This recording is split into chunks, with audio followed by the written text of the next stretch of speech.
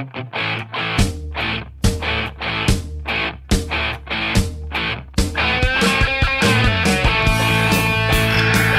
sam Marko Rapović, a vi gledate Cedevita TV.